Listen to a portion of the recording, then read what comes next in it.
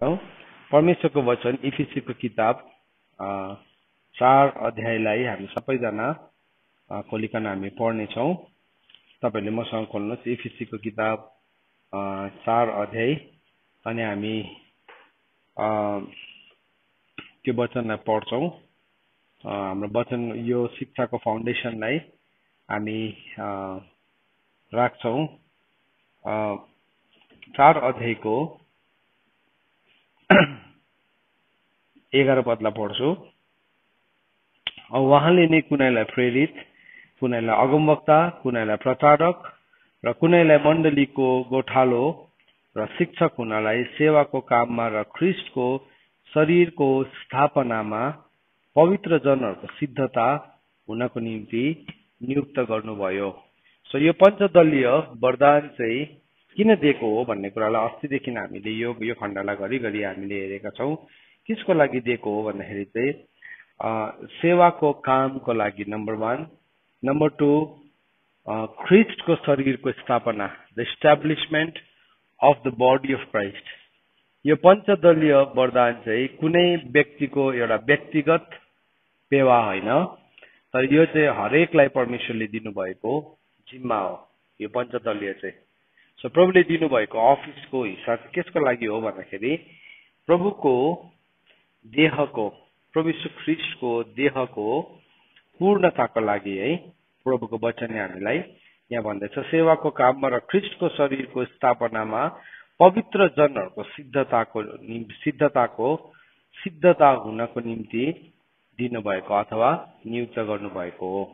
अनि त्यो नियुक्तिले चाहिँ के गर्छ त भन्दाखेरि चाहिँ हामी सबैजना परमेश्वरको पुत्रको विश्वास र ज्ञानको एकतालाई हामी प्राप्त गर्छौँ। अनि यीशु ख्रिस्टको पूर्णताको कदसम्मको एउटा पाको मानिस यो पञ्चदलीय सेवकाईले चाहिँ बनाउँछ भन्ने कुरालाई हामीले सिकिरहेका छौँ। त आज हामी यो पञ्चदलीयमा हामी हेर्दै गरेको वरदान चाहिँ कुन चाहिँ हो भन्दाखेरि आज हामीले हेर्ने वरदान चाहिँ प्रचारकको वरदानलाई हामी हेर्छौँ। सो यो एउटा प्रचारक भनेको चाहिँ यो अफिस पनि हो वरदान पनि हो सबैलाई दिएको एउटा जेनरल कल पनि हो वास्तवमा।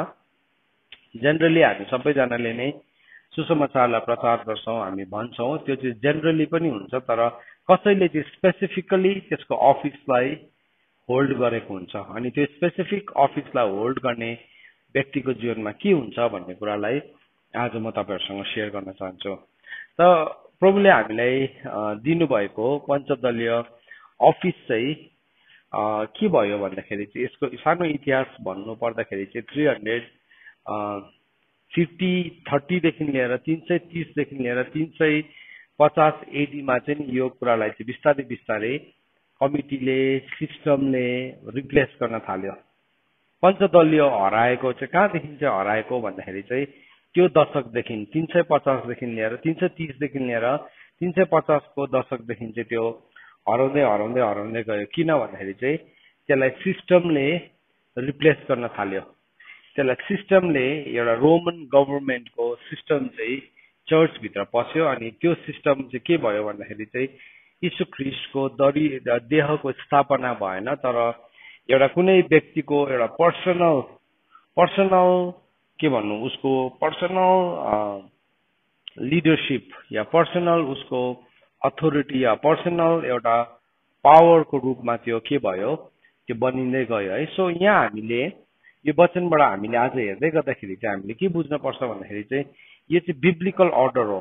यो बिब्लिकल अर्डर हो। यो मान्छेको आइडिया होइन।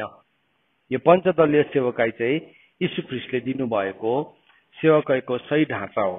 अनि यो ढाँचा चाहिँ यदि यदि यो ढाँचा अनुसार हामी चलेका छैनौँ भने चाहिँ हामीले आफ्नै कुराहरू गरिरहेका छौँ अनि जब हामीले आफ्नै कुरा गर्छौँ एक दिन प्रभुले भन्नुहुन्छ म तिमीलाई चिन्दिनँ। किन? किनभने हामीले आफ्नै हिसाबले काम गरिरहेका हुन्छौँ। तर जब हामी ख्रिस्टको देह बडी अफ क्राइस्टलाई हेर्छौँ अनि त्यो स्थापनामा हामी एकजुट भएर आउँछ यो पञ्चदलीय सेवकाईमा तब चाहिँ के हुन्छ भने यीशु ख्रिस्टको देह चाहिँ कम्प्लिटली बढ्न सक्छ। अनि हामी परमेश्वरको राज्यको खोजी गर्ने व्यक्ति बनिन्छौँ।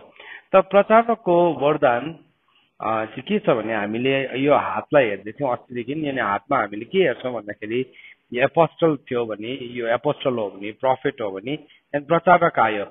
जुन चाहिँ प्रचारक छ उसको रिच चाहिँ नि अरूहरूको भन्दाखेरि अलिकति लामो हुन्छ। ऊ चाहिँ अलिकति परसम्मसम्म जान्छ। उसको उसको एरिया अफ अपरेसन चाहिँ लिमिटेड हुँदैन। उसको चाहिँ अलिकति लामो हुन्छ।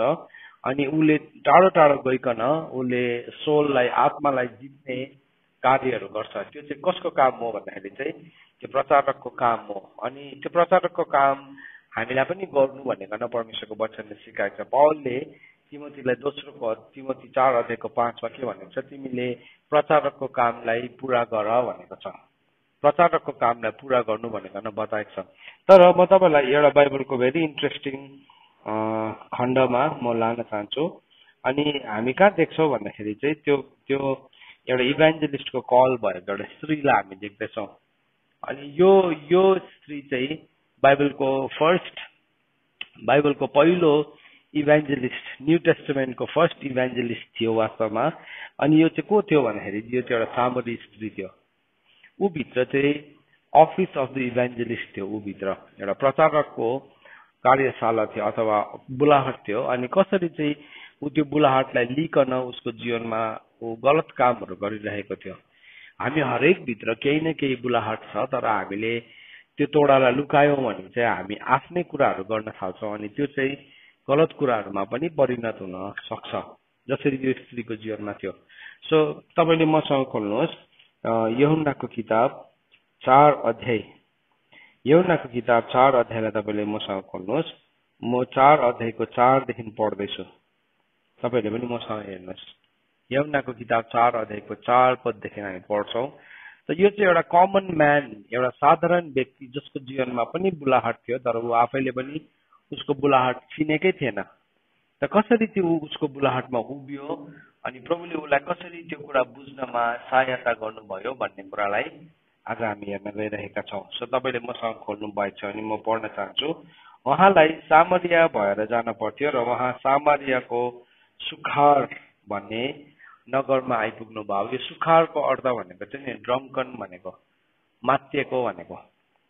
त्यो नगरमा प्रभु आइपुग्नु भयो र यो नगर चाहिँ याकुबले आफ्नो छोरा योसेफलाई दिएका दिएका जमिनको नजिकै पर्थ्यो। त्यहाँ याकुबको इनार थियो। यसोले यात्राले थाक्नु भएको हुनाले त्यस इनारको छेउमा बसिरहनु भएको थियो।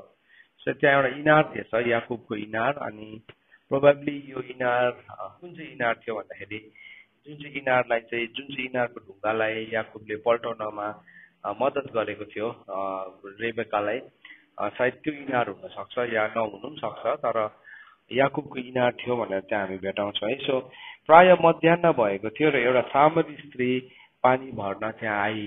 अब मध्याहमा एउटा पानी भर्नु आउने व्यक्ति भनेको चाहिँ कि चाहिँ उसलाई एकदमै क्राइसिस छ कि चाहिँ एकदमै अभाव छ कि चाहिँ त्यो व्यक्ति त्यति बेला त्यो कारणले गर्दाखेरि मात्रै मध्याह दिनमा त्यो ठाउँमा आउँथ्यो जब कि ऊ कसैको अगाडि देखा पर्न चाहँदिन थियो। कसैको अगाडि ऊ देखा नपर्नु हो या पब्लिक ग्यादरिङ नभएको बेलामा आउनु हो भने चाहिँ मध्याहमा आउँथ्यो किनभने मध्याहमा चाहिँ त्यो समयमा एकदमै घाम लागेको कारणले गर्दाखेरि त्यो कुवामा कोही पनि आउँदैन थियो। सो यो स्त्री चाहिँ मध्याहमा त्यहाँ आइ आएको हामी देख्छौँ। यसोले भन्नुभयो मलाई पानी पिउन देऊ। र उहाँका चेलाहरू सहरमा खानेकुरा किन्न गएका थिए। तब सामरी स्त्रीले उहाँलाई भने तब यौदी भएर म सामरी स्त्रीको हातबाट कसरी पानी पिउनुहुन्छ? यौदीहरूले सामरीहरूसँग केही सम्बन्ध राख्दैन। अब यो सामर स्यामरिटन यो सामरीहरू चाहिँ को थियो वास्तवमा भन्दाखेरि चाहिँ यिनीहरू चाहिँ मिश्रित जातिहरू थियो।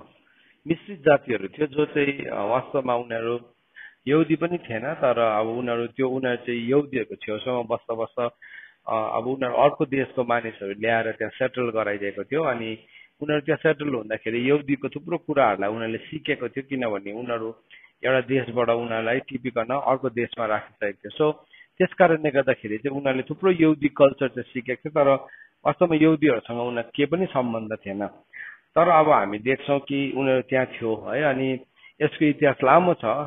तपाईँले राजा यरोबामको घटनादेखि तपाईँले पढ्नु भने त्यहाँदेखि उनीहरूको बिचमा एउटा सेपरेसन आएको छ। सो म त्यो इतिहासपट्टि जान्दिनँ किनभने फेरि आज मेन पोइन्टदेखि उता जान्छु होला। सो त्यो इतिहास माइनस म यो सिधै पढ्न चाहन्छु र त्यो सामग्रीले भने तपाईँ यौदी भएर म सामरी स्त्रीको हातबाट कसरी पानी पिउनुहुन्छ? यहुदीहरूले सामरीहरूसँग केही सम्बन्ध राख्दैनन्। यसुले त्यसलाई भन्नुभयो तिमीले परमेश्वरको वरदान र तिमीसँग पानी माग्ने व्यक्तिलाई चिनेको भए। प्रभुले एउटा शक्तिशाली कुरा गर्नुभयो उसँग। के भन्नुभयो? परमेश्वरको वरदान द गिफ्ट अफ गड परमेश्वरको वरदान र तिमीसँग पानी माग्ने व्यक्तिको उसलाई चिनेको भए सो हामी के देख्छौँ भन्दाखेरि इभेन्जलिस्ट प्रचारक जो छ त्यो चाहिँ परमेश्वरको वरदान हो यीशु ख्रिस्टको वरदान हो। सो प्रभुले भन्नुहुँदैछ तिमी भित्र जुन वरदानलाई परमेश्वरले हाल्नु भएको छ वास्तवमा तिमीले त्यो वरदानलाई चिनेको भए नम्बर वान अनि नम्बर टू चाहिँ तिमीलाई पानी माग्नेको हो तिमीले चिनेको भएको भने चाहिँ के गर्थ्यौ भन्दाखेरि चाहिँ तिमीले उसलाई माग्ने थियौ र उसले तिमीलाई जिउँदो पानी दिने थियो लिभिङ वाटर्स जिउँदो पानी दिने थियो अनि के भन्दैछ त्यस स्त्रीले उहाँलाई भने हजुर तपाईँसित उघाउने भाँडो छैन र इनार पनि यति गहिरो छ। अब त्यो भन्ने बित्तिकै के भन्दैछ तपाईँसँग उगाउने भाँडो छैन र इनार यति गहिरो छ तब तपाईँले कहाँबाट त्यो जिउँदो पानी ल्याउनुहुन्छ के तपाईँ हाम्रो पुर्खा याकुब भन्दा महान हुनुहुन्छ? प्रभुले नै त्यो दिन त्यो स्त्रीलाई केही कुरा रियलाइज गर्न दिइराख्नु भएको थियो। ऊ भित्र भएको बुलाहाटलाई प्रभुले जान्न दिइराख्नु भएको थियो। अनि प्रभुले भन्नुहुँदैछ म तिमीलाई जिउँदो पानी दिन्छु। अनि अब जिउँदो पानी चाहिँ एउटा इनारको सबैभन्दाखेरि तल्लो भागमा हुन्छ। एउटा कुवामा चाहिँ लिभिङ वाटर चाहिँ जहिले पनि तल फेदमा हुन्छ।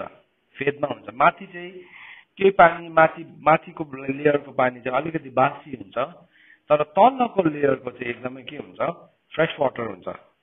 सो त्यसले गर्दाखेरि जब पनि एउटा मान्छेले एउटा इनारबाट फ्रेस वाटर पिउने कोसिस गर्छ त्यो फ्रेस वाटर पिउनको लागि चाहिँ उसले के गर्छ उसले एकदमै गहिरोबाट खन्नु निकाल्नु पर्ने हुन्छ। यो स्त्रीले के भन्दैछ उसले प्रभुसँग भन्दैछ प्रभु यो तपाईँसँग त उगाउने भाँडो पनि छैन र इनार यति गहिरो छ तब कहाँबाट तपाईँले त्यो जिउँदो पानी ल्याउनु हुने के तपाईँ हाम्रो पुर्खा याकुब भन्दा महान हुनुहुन्छ सो अब उसले आफ्नो आफ्नो आर्ग्युमेन्ट उसले आफ्नो रिलिजन प्रभु ख्रिस्टसँग एक्सप्रेस गर्दैछ। अनि मलाई लाग्छ यो कुवामा चाहिँ यो कुवामा अब उसले त्यसरी नै अरू मानिसहरूसँग पनि बात गरेको थियो या के हो थाहा छैन तर त्यो कुरालाई अहिले हामी हेर्छौँ एकछिनमा उसले भन्दैछ त्यस स्त्रीले उहाँलाई भने हजुर तपाईँसित उगाउने भाँडो छैन र इनार पनि गहिरो छ। तब याकुबले कहाँबाट त्यो जिउँदो तब सरी तब कहाँबाट त्यो जिउँदो पानी ल्याउनुहुन्छ? के तपाईँ हाम्रो पुर्खा याकुब भन्दा ठुला हुनुहुन्छ? अनि उनले उनले हामीलाई यो इनार बनाइदिए र उन उनी आफैले पनि र उनका सन्तान र उनका गाई वस्तुले यही इनारको पानी पिए। यसरी त्यसलाई भन्नुभयो यो पानी पिउने प्रत्येक फेरि तिर्खाउने छ तर जस जसले मैले दिने पानी पिउँछ त्यो कहिले तिर्खाउने छैनन्। जुन पानी म त्यसलाई दिनेछु त्यो त्यसमा अनन्त जीवनको निम्ति उम्रिरहने पानीको मूल बन्नेछ। त्यस स्त्रीले उहाँलाई भने हजुर मलाई त्यही पानी दिनुहोस् र म तिर्खाउने छैन र पानी यहाँ पानी भर्न आउनु पर्ने छैन। यसैले त्यसलाई भन्नुभयो जाऊ तिम्रो पतिलाई बोलाएर ल्याऊ। त्यस स्त्रीले भने मेरो पति छैन। यसैले भन्नुभयो तिम्रो पति छैन भने तिमीले ठिकै भन्यौ किनकि तिम्रो पाँचजना पति भइसकेको छ जो अहिले तिमीसँग छ त्यो पनि तिम्रो पति होइन। यहाँ हेर्नुहोस् है यो स्त्रीको जीवनमा परमेश्वरले नि उसको वरदानलाई उसलाई रियलाइज गराउन चाहनुहुन्थ्यो। तर सँगसँगै त्यो वरदान उसको जीवनमा सक्रिय हुनको लागि चाहिँ उसको लाइफ पनि अर्डरमा आउनुपर्ने थियो। लाइफ पनि अर्डर आउनुपर्ने थियो। अब पहिलो तिमोथी तिन अध्यायमा तपाईँले गएर पढ्नुभयो भने एउटा सेवक चाहिँ को हुनुपर्छ भन्ने कुरालाई बताएको छ। अब त्यो स्त्रीभित्र चाहिँ एउटा कल अफ एन इभेन्जलिस्ट थियो। त्यो अर्डरलाई परमेश्वरले उसको जीवनमा ल्याउन चाहनुहुन्थ्यो तर प्रभुले भन्नुहुँदैछ ओके म तिमीलाई दिन्छु जिउ जिउँदो पानी चाहिँ तर तिमीले जाउ गएर तिम्रो हस्बेन्डलाई बोलाएर ल्याऊ भन्दाखेरि उसले भन्यो अँ मेरो त हस्बेन्ड नै छैन। अनि प्रभुले भन्यो ठिकै भन्यो तिमीले अहिलेसम्म तिम्रो पाँचवटा लोग्ने भइसकेको छ अहिले पनि तिमी जोसँग बस्दैछौ तिम्रो हस्बेन्ड होइन त्यो चाहिँ अर्काको हस्बेन्ड हो। सो के भयो उसको कतिवटा कुरा अर्डर थिएन अर्डरली थिएन। एकैछिन यो खण्डलाई तपाईँले बुकमार्क राख्नुहोस् अनि तपाईँ पहिलो तिमोथी तिन अध्यायमा आउनुहोस् मसँग। त यो यो अर्डरलाई हामीले बुझ्न जरुरी छ।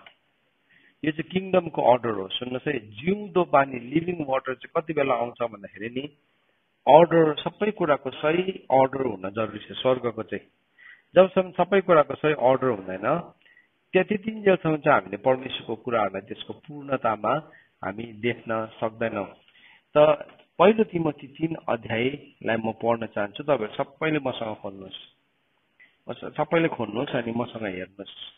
तपाईँले खोलेर हेर्नुहोस्। यहाँ यसरी भन्ने छ यो वचन विश्वासयोग्य छ। यदि कुनै मानिसले बिसपको काम गर्न खोज्छ भने त्यसले असलै कामको इच्छा गर्दछ अथवा गोठालो भनेको नि गोठालोको काम गर्न खोज्छ भने त्यसले असल काम गर्दछन् कामको इच्छा गर्छ। यसकारण गोठालो हुने निर्दोष एउटै स्त्रीका स्त्रीका पति परहेजी आत्मसंयमी सुशील अतिथि सत्कार गर्ने सिकाउनमा सिपालु झगडा नगर्ने मारपिट नगर्ने तर भल तर भला विरोध नगर्ने रुपियाँ पैसाको लोभ नगर्ने आफ्नै घर राम्ररी चलाउन सक्ने आफ्नै छोराछोरीहरूलाई अधीनमा ल्याउने हुनुपर्छ। अब यो छ यो एउटा एउटा लिडरको क्वालिफिकेसन बताउँदैछ यदि कुनै पुरुषले आफ्नो घरकाहरूलाई तहमा लगाउन जान्दैन भने तिनले परमेश्वरको मण्डलीको कसरी देखरेख गर्न सक्छ र सिकारु होइन नत्र त घमण्डले फुलेर शैतानको इन्साफमा पर्दा सिकारु लर्नर होइन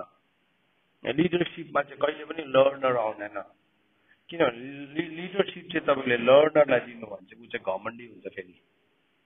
अनि ऊ चाहिँ सैतान जुन पापमा गिरेको थियो त्यो व्यक्ति पनि त्यही पापमा गिर्छ। है सिकारु होइन। नत्र त घमण्डले फुलेर सैतानको इन्साफमा पर्ला त्यसमा पनि अझै तिनले मण्डलीका बाहिरहरूबाट असल नाउँ पाएको हुनुपर्छ नत्र त तिनी निन्दा र सैतानको पासोमा पर्छ। त यहाँ पवलले तिमोथीलाई भन्दैछ कि तिमीले जब पनि लिडरसिपमा कुनै मान्छेलाई राख्छौ दिस क्वालिफिकेसन्स यहाँ भएको यो योग्यता चाहिँ उसको जीवनमा हुनपर्छ। यदि यो योग्यतामा ऊ छैन भने चाहिँ ऊ लिडरसिपमा आउन सक्दैन भनिकन परमेश्वरको वचनमा बताएको छ। त यो प्रविश्व भ्रिसले पनि के भन्नुभयो यो स्त्रीलाई? तिमीले परमेश्वरको वरदान र तिमीसँग बोल्नु हुने व्यक्ति को हो भनेर चिनेको भए चाहिँ तिमीले चाहिँ उसलाई जीवनको पानी माग्थ्यौ भनेर प्रभुले भन्नुभयो। अब परमेश्वरको वरदान चाहिँ के थियो भन्दाखेरि उसको जीवनमा भएको एउटा प्रचारकको बुलाहट थियो। यो लेडी चाहिँ वास्तवमा को थियो भन्दाखेरि चाहिँ by the virtue of God standards परमेश्वरको स्तर अनुसार चाहिँ ऊ भित्र भएको बुलाहट चाहिँ एउटा इभेन्जलिस्टको कल थियो। अनि इभेन्जलिस्टको कल चाहिँ नि किङडम अफ गड परमेश्वरको राज्यमा चाहिँ नि सोल विनर्सहरू हो उनीहरू सोल विनर्स प्रफिटले सोल विनिङ गर्दैन। एपोस्टलले पनि सोल विनिङ गर्दैन। कोही कोही बेला हामी के गर्छौँ भने एउटा मान्छेलाई प्रभुले चलायो भन्दाखेरि उसलाई नै इभेन्जलिस्ट उसलाई नै प्रफिट उसलाई नै एपोस्टल उसलाई नै सबै बनाइदिन्छ। अनि के हुन्छ इफेक्टिभ वर्क नै हुँदैन रोकिन्छ। रोकिन्छ त त्यो काम चाहिँ इफेक्टिभ हुनु हो भने चाहिँ पञ्चदलीयको त्यो व्यक्तिहरू आफ्नो सही सही स्थानमा खडा हुन जरुरी छ। त प्रभुले यो स्त्रीलाई पनि म I will give you the living waters म तिमीलाई जिउँदो पानी चाहिँ दिन्छु तर पहिला आफ्नो लोग्नेलाई तिमीले बोलाएर ल्याऊ भनेको चाहिँ के हो भन्दाखेरि चाहिँ यो अर्डरलाई परमेश्वरले इस्टाब्लिस गर्दै हुनुहुन्छ। हेर्नुहोस् है यो चाहिँ अर्डर अफ द किङडम हो राज्यको स्तर हो। यदि यो अर्डर चाहिँ स्थापित भएको छैन भने चाहिँ बाइबलले भन्नु छ एउटा व्यक्ति क्वालिफाई नै हुँदैन। क्वालिफाई नै हुँदैन। यदि मैले मेरो छोराछोरीलाई मैले तह लाउन सक्दिनँ भने चाहिँ म लिडरसिपको रोल चाहिँ लिन सक्दिनँ। त्यो चाहिँ भयङ्कर डरलाग्दो कुरा हो। म म मेरो कुनै अफिसमा काम गर्न सक्छु किङडमको अफिसियल म्यान्डेटलाई मैले पुरा गर्न सक्छु तर लिड एज अ लिडर चाहिँ म त्यो ठाउँमा खडा हुन सक्दिनँ। पहिला चाहिँ उसले आफ्नो घरानाको लागि मिलाएकै हुनुपर्छ। अनि त्यो चाहिँ एउटा लर्नर पनि हुनु हुँदैन एउटा भर्खर लर्न गर्दै गरेको मान्छे पनि हुनु हुँदैन किनभने त्यो घमण्डे फुल्छ उसकोमा छ होला त्यो सबै क्वालिफिकेसन छ तर ऊ लर्नर हो भने फेरि ऊ घमण्डले फुलेर लड्छ। So Bible is very specific very clean अब यो भन्दाखेरि सफा केही पनि छैन। यो भन्दाखेरि एकदमै सफा केही छैन। त्यसलाई अझै तल पढ्यो भने हामी के भन्ने छ त्यो कस्तो हुनुपर्छ भन्दाखेरि गम्भीर हुनुपर्छ दुई जिब्रे होइन है? अनि के छ? रक्सी नपिउने लोभी होइन विश्वासको रहस्य शुद्ध विवेकमा थामी राख्ने हुनुपर्छ। So so on and so for त्यो क्वालिफिकेसन बढिरहेको छ। त आज यो क्वालिफिकेसनको स्ट्यान्डर्ड अनुसार चाहिँ आज मानिसहरू खडा नभएको कारणले गर्दाखेरि आज के छ? बडी अफ क्राइस्ट बदनाम छ क्रिस्टको देह बदनाम छ। किनभने यो कुरा मिलेको छैन। यो कुरा मिलेकै छैन। सो यो एरियालाई हामी कोही कोही बेला वर्कआउट पनि गर्दैन। यो एरियामा चाहिँ हामी कार्य पनि गर्दैन। यो चाहिँ हामीले कार्य गर्नुपर्ने हाम्रो क्षेत्रहरू हो। है सो यो जबसम्म हामी यो कार्यलाई यसमाथि हामी कार्य गर्दैनौँ तबसम्म चाहिँ हामी सही ढाँचामा परमेश्वरको काम गरिरहेको हुँदैनौँ है। त प्रभुले भन्नुभयो गएर तिम्रो हस्बेन्डलाई बोलाऊ त्यो हस्बेन्डलाई बोलाऊ भन्दाखेरि चाहिँ त्यो स्त्रीले भन्यो कि मेरो त हस्बेन्ड नै छैन। मेरो हस्बेन्ड नै छैन। मेरो चाहिँ पाँचजना हस्बेन्ड छ। अनि त्यति बेला चाहिँ त्यो स्त्रीले भनेछ अँ प्रभु मैले थाहा पाएँ कि तपाईँ चाहिँ एउटा प्रफेट रहेछ। उसले परमे यीशु ख्रिस्टको जीवनमा त पञ्चदलीय सेवकाई डल्लै नै थियो नि त। प्रवेश ख्रिस्ट अगमवक्ता पनि हुनुहुन्थ्यो प्रवेश ख्रिस्ट प्रेरित पनि हुनुहुन्थ्यो प्रवेश ख्रिस्ट प्रचारक पनि हुनुहुन्थ्यो प्रवेश ख्रिस्ट गोठालो पनि हुनुहुन्थ्यो प्रवेश ख्रिस्ट र बाई गुरु शिक्षक पनि हुनुहुन्थ्यो। सो के भयो? प्रवेश ख्रिस्टको जीवनमा चाहिँ पञ्चदलीय सेवकाई नै एकदमै सक्रिय रूपमा देखा पर्यो तर उसले एउटा पर्सपेक्टिभलाई चाहिँ देख्न थाल्यो। उसले भन्दैछ तपाईँ चाहिँ अगमवक्ता हुनुहुन्छ। भनेर चाहिँ म थाहा पाउँदैछु भनेर उसले भन्यो। हाम्रो पुर्खाहरूले यस डाँडामा आराधना गरे अनि तपाईँहरू भन्नुहुन्छ कि आराधना गर्ने स्थान यरुसलेम हो। यसोले तिमीलाई भन्नुभयो ए नानी मलाई विश्वास गर। त्यो बेला आउँछ जब तिमीहरूले न यस डाँडामा न यरुसलेममा पिताको आराधना गर्नेछौ। तिमीहरू जे आराधना गर्दछौ सो जान्दैनौ। हामी जे आराधना गर्दछौ सो जान्दछौ। किनभने मुक्ति चाहिँ यहुदीहरूबाट छ। अब यो एरियालाई म तपाईँलाई यसलाई यसमा एक्सप्लेन गर्न चाहदिनँ। तर बेला आइरहेको छ र त्यो बेला अहिले हो जब सच्चा आराधकहरूले पितालाई आत्मा र सत्यतामा आराधना गर्छ। किनकि आराधना गर्ने यस्तै आराधकहरूलाई पिताले खोज्नुहुन्छ। अब यो वचनबाट हामी थाहा पाउँछौँ कि परमेश्वरलाई चाहिएको चाहिँ आराधकहरू हो आराधना भन्दा पनि बेसी चाहिँ। अनि साँचो आराधकहरूलाई चाहिँ परमेश्वरले खोजिराख्नु भएको रहेछ भन्ने कुरालाई हामी थाहा पाउँछ। उसले भन्दैछ उसले भन्दैछ म जान्दछु कि मसी आउनुहुन्छ जसलाई ख्रिस्ट भनिन्छ। र जब उहाँ आउनुहुन्छ तब उहाँले हामीलाई सबै कुरा बताइदिनु हुनेछ यसोले तिमीलाई भन्नुभयो तिमीसँग बोल्ने म उही हुँ भनिकन प्रभुले भन्नुभयो। अब वर्ष थर्टी नाइनमा गएर हेर्नुहोस्। वर्ष थर्टी नाइनमा उसले के गर्यो भन्दाखेरि चाहिँ उसले गयो अनि सामरेको मान्छेहरूलाई भन्दैछ औ एकजना मानिसलाई हेर जसले मैले गरेको सबै काम मलाई बताइदियो। कतै उहाँ नै त ख्रिस्ट हुनुहुन्न। तब तिनीहरू नगरबाट निस्किएर उहाँ कहाँ गए? र मैले जे गरेँ उहाँले मलाई सब भनिदियो भन्ने त्यस स्त्रीको गवाईले गर्दा त्यस नगरका सामरीहरू मध्ये धेरैले उहाँलाई विश्वास गरे।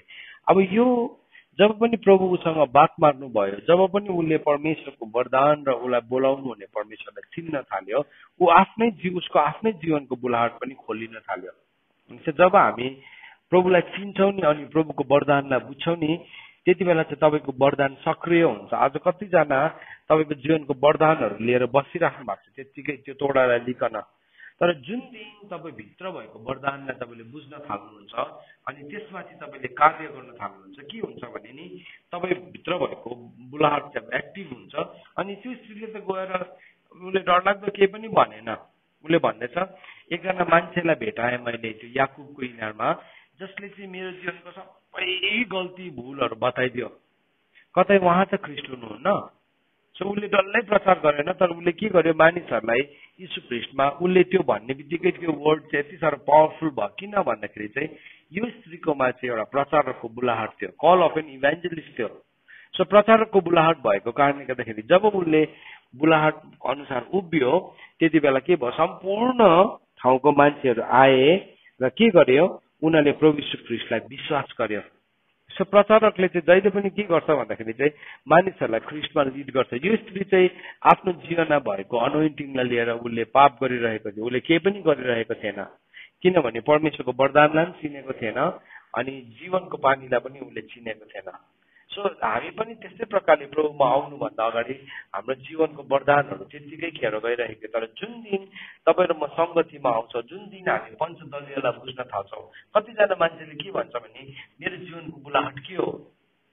जब तपाईँ प्रभुसँग भेट गर्न थाल्नुहुन्छ जब तपाईँले जीवनको पानीबाट पिउनुहुन्छ त्यति बेला चाहिँ तपाईँले दुईवटा कुरालाई बुझ्नुहुन्छ तपाईँको लाइफमा। एउटा चाहिँ परमेश्वरको वरदान के हो भनेर अनि दोस्रो चाहिँ तपाईँको जीवन तपाईँ जीवनको पानी के हो भन्ने कुरालाई बुझ्नुहुन्छ। उसले बुझ्ने बित्तिकै के भयो?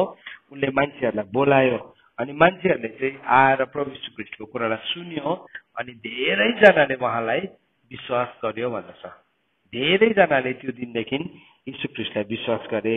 अनि अझै पढ्दै जान्छ। यसकारण जब सामदीहरू उहाँ कहाँ आए तब तिन तिनीहरूले उहाँलाई तिनीसँग बस्न भनी बिन्ती गरे र उहाँ दुई दिन त्यहाँ बस्नुभयो अनि उहाँको वचनको कारण अरू धेरैले उहाँलाई विश्वास गरे। सो के भयो? यो स्त्रीले चाहिँ मानिसहरूलाई यीशु ख्रिस्टतर्फ लिड गर्यो। So that is the call of an evangelist इभान्जलिस्टको सेवाकारी यति साह्रो अचम्मको हुन्छ। उसको वचन त्यस्तो डरलाग्दो खालके पनि हुँदैन। उसले के भन्छ म अमेरिकामा गएँ कुनै कहाँ गएँ यहाँदेखि यहाँ गएँ कुनै के के कुनै के के गयो कुनै के के भन्छ एक दुईवटा कथाहरू भन्छ। त्यहाँदेखि तपाईँहरू कतिजनाले प्रभु श्रीकृष्णलाई विश्वास गर्नुहुन्छ। हुरुरु आइहाल्छ किन भन्नुहोस् त? त्यो चाहिँ उसको जीवनभित्र भएको बुलाहट हो। त्यो चाहिँ उसको जीवनभित्र भएको बुलाहट अब त्यही काम चाहिँ त्यही काम चाहिँ एउटा प्रफिटले गर्यो भने हुँदैन। प्रफिटले चाहिँ सुसमाचार प्रचार गर्यो भने थुप्रो सुसमाचार सुन्नु आएको मान्छेहरू पनि बिच्केर के हुन्छ जान्छ। किनभने प्रफिटले सिधै औँला देखाएर हप्काउनु थालिहाल्छ। अब के भयो? सुसमाचारको सभामा चाहिँ तपाईँले प्रफिटलाई स्पिकर कहिले पनि नबनाउनुहोस्। है यो प्रफिट भयङ्कर छ। त्यसले गर्दाखेरि उसलाई रङ हो त्यो। रङ रङ सेलेक्सन हो। एपोस्टललाई बनाउनुहोस् हुँदैन। टिचरलाई बनाउनुहोस् अल्छी लागेर आउँदैन अर्को पालिदेखि। के भन्यो भने त्यो मान्छेको कुरै बुझ्दैन। है पास्टरलाई बनाउनुहोस्। पास्टरको अर्कै कुरा हुन्छ। उसकै आफ्नै गोटालोको माया उसकै भेडाको मायाको मात्रै कुरा गर्न हुँदैन। अन्त हामी इफेक्टिभ काम गर्नु नसकेको कारण चाहिँ किन हो भन्दाखेरि चाहिँ हामीले अफिस नै बुझेको छैनौँ। यता इभेन्जलिस्टलाई बोलाउनु पर्ने है प्रफिट भयङ्कर छ भने प्रफिटलाई बोलाउँछ। एपोस्टल भयङ्कर छ भने एपोस्टललाई बोलाउँछ। या पास्टर या टिचर भयङ्कर छ भनेर बोलाउँछ अनि बिचरा इभेन्जलिस्टको कल भएको मान्छे चाहिँ के हुन्छ त्यतिकै हेरेर बसिरहेको हुन्छ। तर त्यो ठाउँमा तपाईँले इभान्जलिस्टलाई उठाउनुहोस् त उसले के के भन्छ? तर उसको भनाइमा यस्तो सामर्थ्य हुन्छ उसले भन्ने बित्तिकै के हुन्छ? मान्छेहरू हुरुरु आउँछ जस्तो हामीले बिलिग्रामलाई देख्छौँ नि। बिलिग्रामको मिटिङ्सहरूमा चाहिँ नि लाखौँ लाखौँ लाखौँ मान्छेहरूले प्रभुलाई पायो। किन भन्दाखेरि चाहिँ बिलिग्राम चाहिँ he was the mighty evangelist mighty evangelist थियो ऊ चाहिँ। सो जब पनि बिलिग्राम उठेर बोल्थ्यो उसले बोल्ने बित्तिकै के हुन्थ्यो? ऊ भित्र भएको अनोइन्टिङ के भयो? अब रिलिज हुन थालिहाल्थ्यो बडी अफ क्राइस्टमा सो के भयो? उसले गहिरो गहिरो शिक्षाहरू त दिएन। त्यस्तो गहिरो गहिरो शिक्षाहरू दिएन। तर के भयो? मान्छेहरूलाई प्रभुमा लिड गर्यो अब त्यो लिड गरेको मान्छेलाई चाहिँ अब जब पनि आउँछ ऊ बडी अफ क्राइस्टमा अब एउटा पास्टरले चाहिँ के गर्छ? उसलाई सुरक्षा दिन्छ। भेडाको सुरक्षा दिन्छ भने चाहिँ टिचरले सिकाउँछ। एपोस्टरले हप्काउँछ है? एपोस्टलले ब्लु प्रिन्ट दिन्छ प्रेरितले हप्काउँछ सो के भयो? उसले पञ्चदलीय सेवाका यसरी पाउँदाखेरि के हुन्छ? त्यो एकदमै राम्रोसँगले फस्टाएर जान्छ फस्टाएर जान्छ तर त्यो नहुँदाखेरि त्यहाँ त्यहाँ स्पिरिचुअल इम्ब्यालेन्स हुँदाखेरि चाहिँ के हुन्छ? आज हामीसँग भएको मान्छेहरू पनि छत्ताछुल्लै भएर जान्छ। त्यो चाहिँ के हो? हामीले कललाई नबुझेको कारणले गर्दाखेरि। अब यो स्त्रीले यीशु ख्रिस्टकोमा लिड गर्यो प्रभुले बताउनु भयो। अनि प्रभुले उनीहरूलाई सिकाउने बित्तिकै उनीहरूले विश्वास गरे। अनि त्यो स्त्रीलाई के भन्ने छ तल फोर्टी टूमा त्यस स्त्रीलाई तिनीहरूले भने अब तिमीले भनेको कुराले गर्दा हामीले विश्वास गरेका होइनौ तर हामी आफैले सुनेको कारणले साँच्चै नै उहाँ संसारको मुक्तिदाता हुनुहुन्छ भन्ने हामीले जानेका छौँ। सो के गर्यो? यो यो यो इभेन्जलिस्टले बाइबलको फर्स्ट लेडी इभेन्जलिस्ट हामी देख्दछौँ। पहिलो यो यो दिदीलाई हामी देख्छौँ जसले चाहिँ के गर्यो? मानिसहरूलाई सामरियाको मानिसहरूलाई प्रभुमा लिड गर्यो। सो उसले उसले उसले गरेको काम चाहिँ त्यो ठाउँमा यस्तो एप्ट एउटा व्यक्ति चाहिएको थियो जसले चाहिँ मानिसलाई प्रभुमा डोर्याउँथ्यो अनि के गर्यो उनीहरूले लिड गर्यो। सो कतिजना मान्छेको चाहिँ त्यस्तै खालको इभेन्जलिस्टिक कल हुन्छ। ऊ यसो गाडीमा ट्राभल गर्दैछ बसमा ट्राभल गर्दैछ भने छेउको मान्छेलाई सुसमाचार सुनाइहाल्छ। उसले सुन्ने सुन्ने बित्तिकै के हुन्छ? उसले विश्वास गरिहाल्छ अर्कोले पनि। अर्कोले पनि विश्वास गरिरहेको हुन्छ। ऊ बाहिर सपिङ गर्नु गएको हुन्छ सब्जी किन्नु गएको हुन्छ तौली नै गरेको हुन्छ। अर्कोले सब्जी उसले ती सुसमाचार सुनाउँछ। है ती सुसमाचार उसको सुसमाचार इफेक्टिभ हुन्छ। किन? किनभने त्यो कलमा उभिएको मान्छे हो। त्यो बुलावटमा उभिएको मान्छे हो। सो बडी अफ क्राइस्टमा यीशु ख्रिस्टको देहमा नि इभेन्जलिस्टको ठुलो भूमिका छ। तर अब हामीले चिनेको एकदमै कमन अफिस हामीले रेकगनाइज गरेको अफिस चाहिँ कुन चाहिँ हो? खालि पास्टरल अफिसलाई मात्रै हामी चिन्छौँ प्रायः। किनभने जब त्यो थ्री हन्ड्रेड फिफ्टी एडीदेखि त्यो त्यो चेन्ज हुन थाल्यो नि उनीहरूले के गर्यो भन्दाखेरि पञ्चदलीयमा केवल एउटा पास्टरल अफिसलाई मात्रै उनीहरूले प्राथमिकता दियो किनभने पास्टर चाहिँ मण्डलीको गोठाला थियो तर मण्डलीको गोठालासँग चाहिँ उनीहरूले पोलिटिक्सलाई मिक्स गरिदियो। अनि के भयो अब? त्यहाँबाट त्यहाँबाट सबै हटाइदियो एपोस्टल पनि हटाइदियो प्रफिट पनि हटाइदियो इभान्जलिस्ट पनि हटाइदियो अनि टिचर पनि हटाइदियो।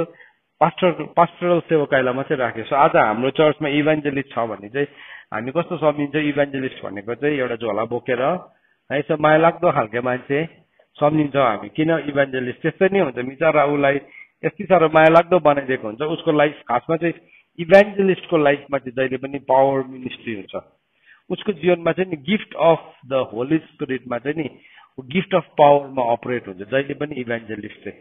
गिफ्ट अफ भोकल गिफ्टमा होइन ऊ पावरको गिफ्टमा अपरेट हुन्छ. म तपाईँलाई अर्को इक्जाम्पल पनि देखाउन चाहन्छु जहाँ त्यो पावरको गिफ्टमा अपरेट हुन्छ। त बाइबलमा हामीलाई दुईजना व्यक्तिलाई इभान्जलिस्ट भनिकन सम्बोधन गरेको भेटाउँछ। एउटा फिलिप हो अर्को चाहिँ तिमोथी हो फिलिप र तिमोथीलाई चाहिँ हामी इभान्जलिस्ट भनिकन बाइबलमा सम्बोधन गरेको भेटाउँछौँ। सो यो स्त्रीले के गर्यो भन्दाखेरि चाहिँ उसको जुन चाहिँ पापमै जीवन थियो प्रविश्व ख्रिससँग भेट हुँदाखेरि त्यो जीवन खालि त्यसबाट छुटकारा मात्रै पाएन तर उसको बुलाहट पनि के भयो? सक्रिय हुन्छ। सो प्रभु कृष्ण तपाईँ र म आउनु भनेको चाहिँ पापबाट छुटकारा पाउनु मात्रै होइन तर सँगसँगै हाम्रो जीवनको बुलाहट पनि के हुन्छ? सक्रिय हुन्छ। कतिजनाकोमा एकदमै गिफ्ट अफ काउन्सिलिङ हुन्छ। एकदमै राम्रो सल्लाह दिने मतलब गिफ्ट हुन्छ। कसैकोमा बसेर राम्रोसँगले कुरा सुनिदिने वरदान हुन्छ। उसले मजाले कुरा सुनिदिन्छ। है निन्दा भनेको होइन तर उसले कुरा सुनिदिन्छ। कतिजनालाई चाहिँ भन्नुपर्ने हुन्छ नि त। अन्त त्यो सुनिदिँदाखेरि नै कतिजना चङ्गाइ हुन्छ। त्यो एउटा वरदान हो। मतलब गिफ्ट अफ द फादर पिताको वरदानमा आउँछ त्यो। कतिजनाकोमा राम्रो हस्पिटालिटी हुन्छ। उसले एकदमै उसको समात्ने गर्ने भन्ने दिने तरिकाहरू यति साह्रो भयङ्कर दामी हुन्छ।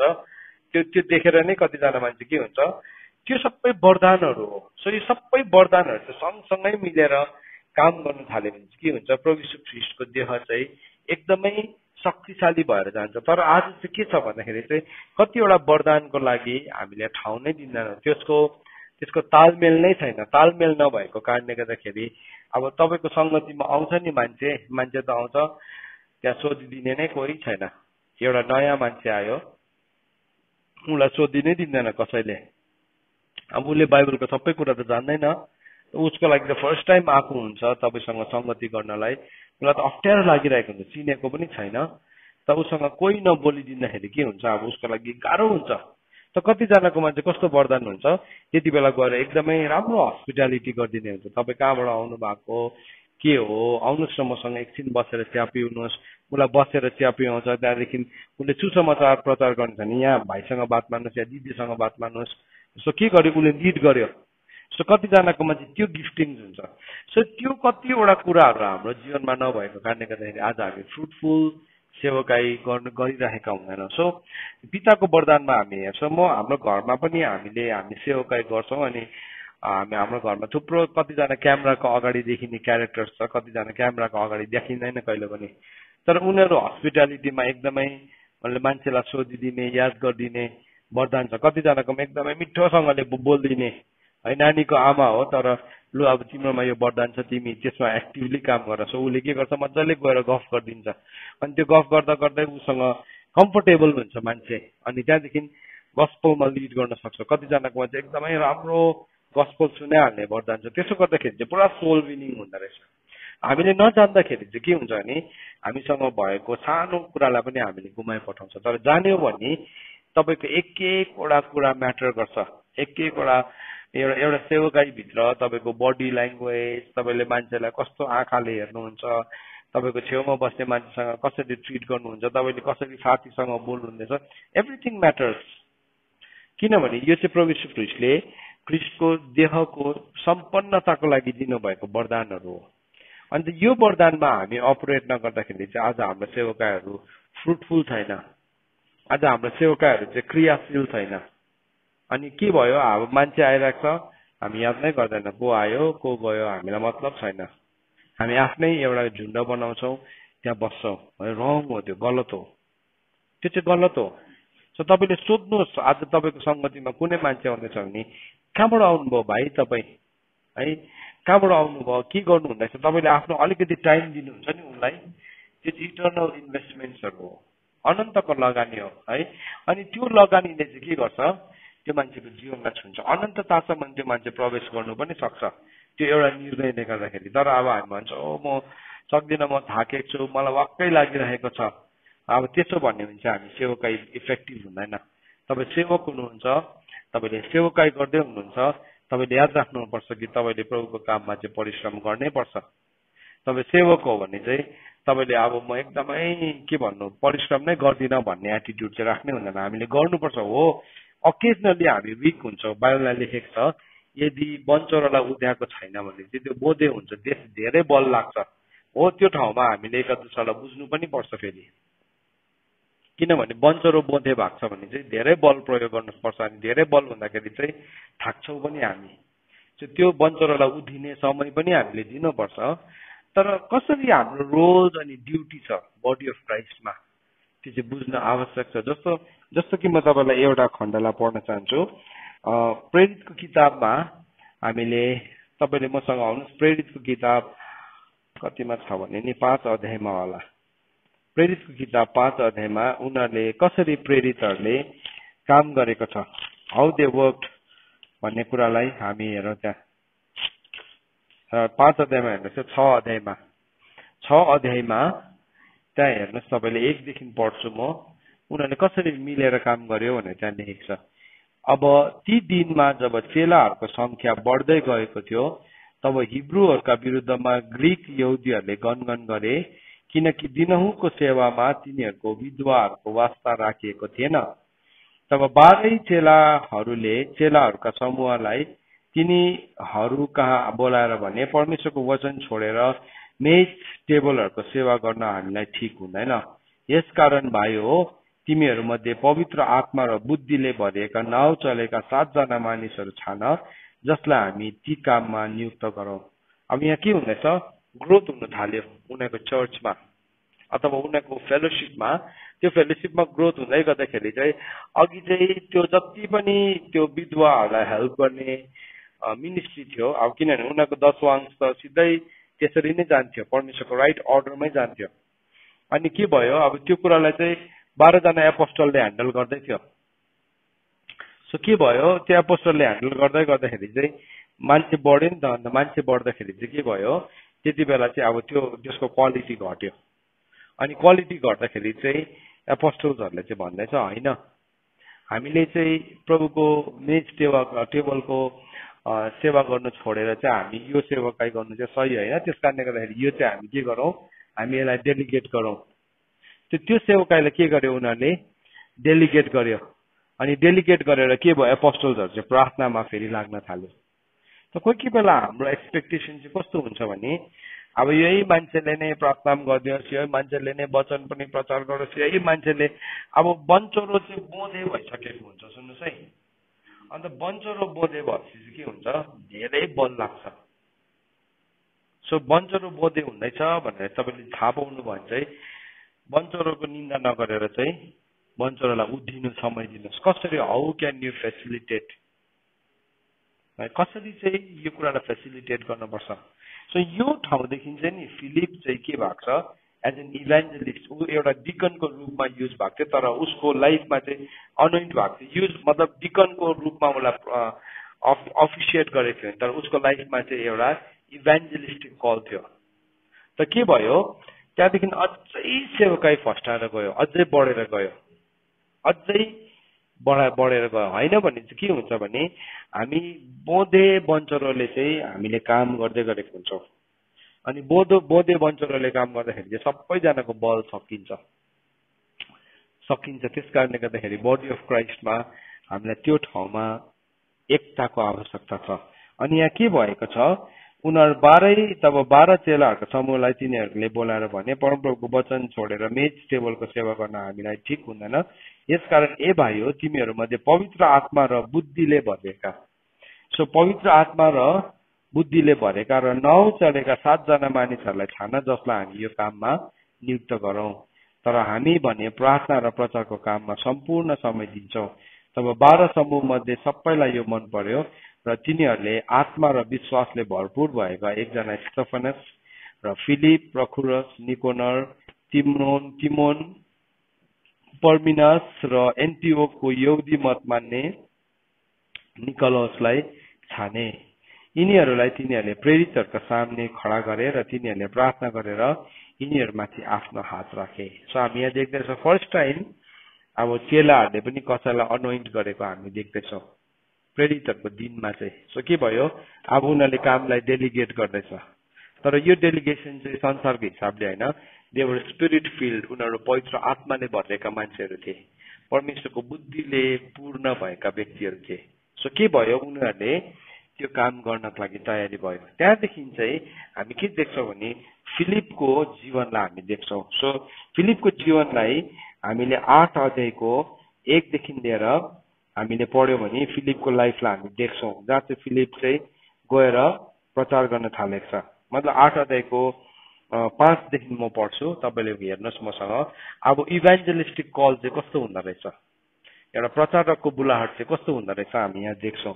फिलिप चाहिँ सामरियाको एउटा सहरमा गए गए गएर तिनीहरूलाई ख्रिस्ट प्रचार गरे। अब अघि यीशु ख्रिस्ट पनि सामरियामै जानुभएको थियो फिलिप पनि सामरियामै जान्दैछ अनि उसले के गर्यो? ख्रिस्टको प्रचार गर्न थाले अरे फिलिपले भनेका वचन सुनेर अनि तिनले गरेका चिन्हहरू देखेर भिडले एकै मनका भएर तिनको कुरामा ध्यान दिए। सो फिलिपको लाइफमा चाहिँ वचन मात्रै थिएन तर पावर मिनिस्ट्री पनि थियो। भने चाहिँ इभान्जलिस्टिक कल भएको मान्छेको लाइफमा चाहिँ पावर मिनिस्ट्री हुन्छ। पावर मिनिस्ट्री हुन्छ। सो त्यो पावर मिनिस्ट्री सबैकोमा कमन हुँदैन। इभान्जलिस्ट कल भएको मान्छेकोमा चाहिँ अलिकति बेसी हुन्छ। किनभने त्यो कुराले चाहिँ उसले मानिसको ध्यानलाई आकर्षण गर्न सक्छ। उसले के गर्दैछ उसले के भन्नु खोज्दैछ त्यो कुराको लागि नै परमेश्वरले उसलाई नै दिनुभएको वरदान हो। सो एउटा इभान्जलिस्टको लाइफमा पावर मिनिस्ट्री छ र उसले उसको जीवनबाट भयङ्कर शक्तिशाली काम हुँदैछ भने हामी फिक्री गर्नु हुँदैन ला मेरोमा त छैन। मेरोमा त उसको जस्तो छैन। प्रभुले उसलाई त कस्तो भयङ्कर चलाउनु भएको। कतिजना मान्छेले फेरि ती ती हेरेर निराश हुन थालिहाल्छ। प्रभु मलाई किन नदिनु भएको? ऊ त हिजोस्तिको मान्छे। उसलाई पो दिनु हुँदैछ। यो यो मान्छे त डिकन पो युज गरेको पत्रुसले भनेन त्यसरी है? या अरू कसैले भनेन? ऊ त डिकन पो उसकोमा चाहिँ कसरी त्यस्तो भएको? कम्पेरिजन आएन। सुन यो कुरालाई बुझ्नुपर्छ कि इभान्जेलिस्ट त्यही कल भएको मान्छेको जीवनमा चाहिँ जहिले पनि पावर मिनिस्ट्री हुन्छ। सो के भयो? उसले प्रचार गर्ने बित्तिकै के हुन्छ? मान्छेले विश्वास गरिहाल्छ। उसले भन्ने बित्तिकै मानिसहरू पवित्र आत्माले भनिन थाल्छ। उसले प्रार्थना गरिदिने बित्तिकै जाति हुन्छ। त हामीले बडी अफ क्राइस्टमा नि एका दुस्रालाई पहिचान नगर्दाखेरि चाहिँ हामी के गर्छौँ भने चाहिँ अब यसले चाहिँ मैले भनेको जस्तै गरेन त्यस कारणले गर्दा यो कन्डेम भन्छ। होइन त्यसो त्यसो गर्नु हुँदैन। हामीले ग्रो गर्नुमा सहायता चाहिँ गर्नुपर्छ। हेर्नुहोस् है एउटा वृद्धि हुनमा तपाईँ एउटा न्यू बिलिभर हुनुहुन्छ। तपाईँलाई वृद्धि गर्नमा कसैले सहायता गर्दैछ भने बी हम्बल तपाईँ नम्र बनिनुहोस्। आज जसरी हामी सिक्दैछौँ नि तपाईँ नम्र बनिनुहोस्। तपाईँको जीवनमा त्यो बुलाहट छ। तपाईँलाई प्रभुले चलाउन चाहनुहुन्छ तर अब नपाकेको फल खाँदाखेरि जहिले पनि पखालो चल्छ। फललाई पाकेको खाँदाखेरि चाहिँ के हुन्छ त्यसले जहिले पनि बडीमा हेल्थ अनि हिलिङ ल्याउँछ। त्यस्तै प्रकारले हाम्रो जीवनको कतिवटा कुरामा हामी ग्रो गरिसकेका हुँदैनौँ। अनि हामी एकैचोटि त्यसमा हामीले कार्य गर्दाखेरि चाहिँ के हुन्छ त्यसको परिणाम चाहिँ राम्रो हुँदैन। अनि के हुन्छ त्यो परिणाम नराम्रो भएपछि चाहिँ अल्टिमेटली हामी आफै पनि एक दिन आफैसँग निराश हुन्छौँ। अनि भन्छ हामी ओहो म गर्दिनँ। प्रभुको काम कतिजना त प्रभुलाई छोडिदिन्छ। प्रभुलाई छोडिदिन्छ। त्यो त्यो रङ हो त्यसले गर्दाखेरि तपाईँको मेरो लाइफमा नि हामी त्यो ठाउँमा मच्योर हुन तपाईँको लाइफमा एउटा प्रफिटिक कल अफिस छ भने तपाईँ साँच्चै नै एउटा फुल्ली मच्योर प्रफिट हुन तपाईँलाई टाइम लाग्छ। त्यसले गर्दाखेरि एलिसा चाहिँ के गर्यो? एलियाको हात धुँदै भए पनि बसिरह्यो नि त। तर के भयो? उसको जीवनमा फुल मच्योरिटी जब आयो एलियाले गरेको भन्दाखेरि दोबर काम उसले गर्यो। दुई दुई गुणा गर्यो। दुई गुणा गर्यो किनभने परमेश्वरको राज्यमा चाहिँ कहिले पनि कम्पिटिसन हुँदैन। हामी ट्रुली प्रभुको सेवक हो भने चाहिँ हामी भित्र चाहिँ यो चाहना हुन्छ कि मैले गरेको भन्दाखेरि चाहिँ मेरो भाइले चाहिँ म भन्दा बेसी गरोस् या मेरो बहिनीले मभन्दा बेसी गरोस् या अर्को व्यक्तिले मभन्दा बेसी गरोस् भन्ने हाम्रोमा चाहना हुन्छ। तर यदि होइन भने चाहिँ हामीमा कम्पिटिसन हुन्छ। अर्कोले चाहिँ अलिकति मभन्दा शक्तिशाली रूपमा गर्नु थाल्यो भने चाहिँ म इन्सिक्योर हुन्छु। अब मेरो दौड सकिएको हो भने त मेरो लागि त राम्रो नि एउटा एउटा बिउ मर्दै गर्दाखेरि हजारवटा फल्छ भने त्यो त कति राम्रो कुरा हो। नबुझ्दाखेरि चाहिँ के हुन्छ हामी त्यतिमै हामीले के गर्छौँ थुप्रो कुराहरूलाई माथि तल गर्न थाल्छौँ। किङडमको पिक्चर हो हेर्नुहोस्। यो किङडमको पिक्चर हो। सो फिलिप के गर्यो? फिलिप पवित्र आत्माले भरेको थियो अनि बुद्धिले भरेको थियो। अब he was a matured leader सुन्नुहोस् है। उसले नि लिडरसिपको सबै क्राइटेरियाभित्र पास भएको व्यक्ति थियो यो लिडरसिपको सबै अघि पहिलो तिमती तिन अध्याय अनुसार लिडरसिपको सम्पूर्ण योग्यताबाट त्यो पारित भएको व्यक्ति थियो लिडरसिपको चाहना गर्नु गलत चाहना होइन तर त्यहाँ क्वालिफिकेसन छ।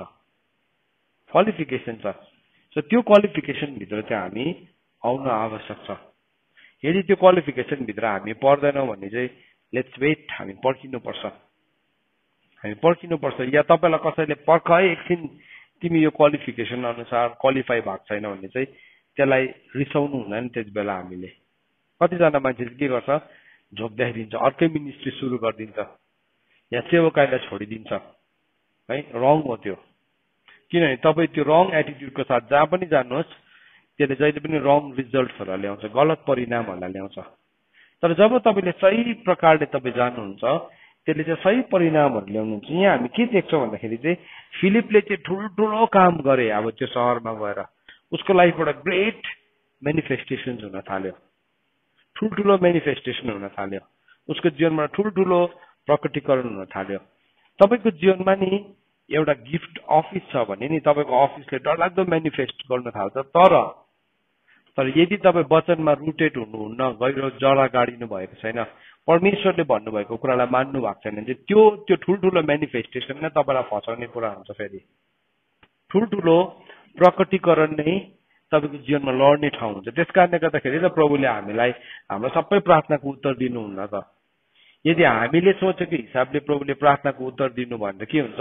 सबै कुरा भत्ताबुङ्गै हुन्छ। किनभने हामीले हामीले राम्रोसँगले एउटा सानो बडे हतियार पनि चलाउनु जानेको हुँदैन। हामी चाहिँ परमेश्वरसँग एकदमै डरलाग्दो मिसाइल माग्छौँ ट्याङ्क माग्छौँ।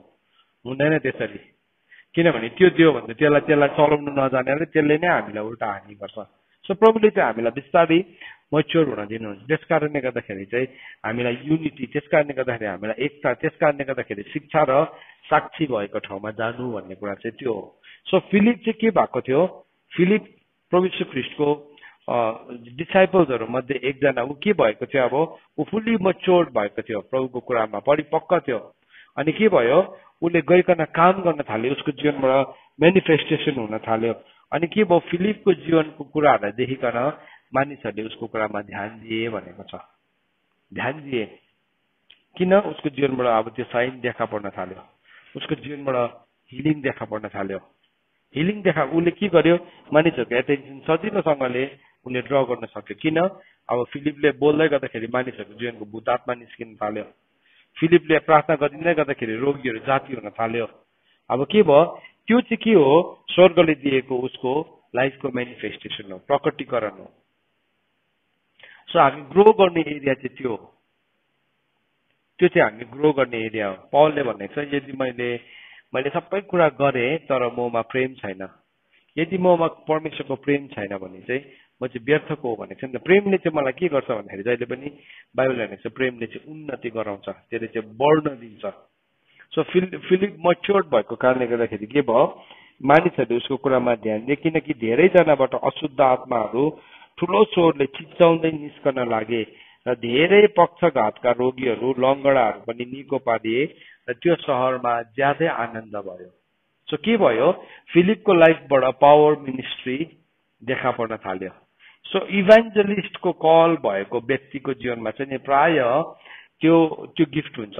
तपाईँहरू कतिजनाकोमा त्यो अफिस छ भनेर तपाईँलाई थाहा छ अहिले वचन सुन्दै गर्दाखेरि तर तपाईँले अहिलेसम्म कहिले पनि रोगीमाथि हात राखेर प्रार्थना गर्ने आर्ट गर्नुभएको छैन। आजदेखि गर्नुहोस्। तपाईँले देख्नुहुन्छ कि यस्तो छिटो चङ्गाइ आउँछ तपाईँले प्रार्थना गर्दाखेरि। त्यो तपाईँको कारणले गर्दाखेरि होइन त्यो अफिसको कारणले गर्दाखेरि हो।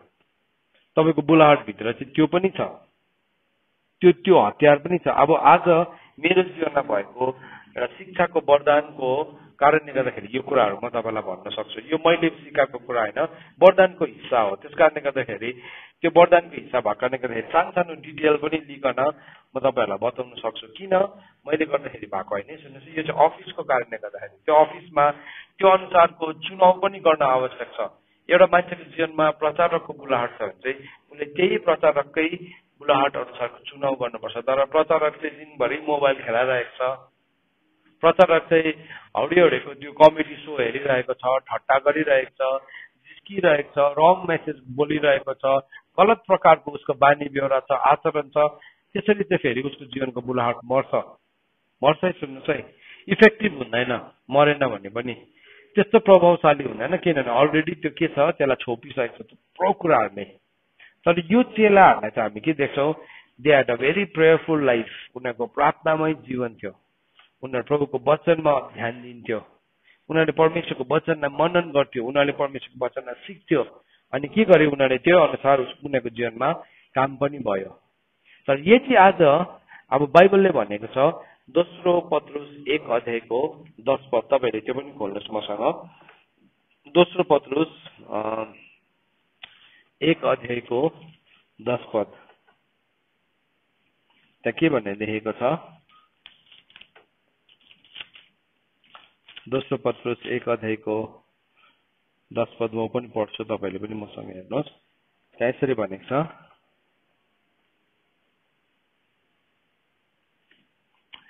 यसै कारण हे भाइ हो तिमीहरूको बोलावट र चुनाव निश्चय गर्नलाई बढ्ता प्रयत्न गर।